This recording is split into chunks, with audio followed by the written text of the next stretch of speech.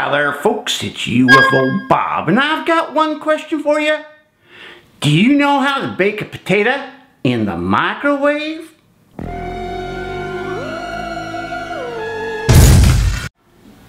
Now baking a potato in the microwave is really simple. You start with a russet potato, or as I like to say, tater. Then you wash it thoroughly.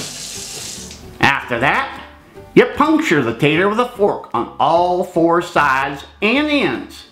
This will vent the steam in the tater and prevent it from exploding. Now, using the microwave safe dish, place it in the microwave and cook it for about, oh, five, six minutes.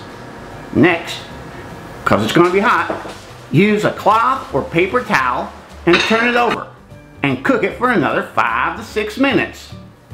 Now you gotta realize that the time needed to cook your potato, I mean tater, will vary depending on your microwave's power and the size of your taters. When your tater's done cooking, slice it up like this, then season to taste. You can add salt and pepper or sour cream and chives. But personally, I like it with just plain old butter. Mmm-mm.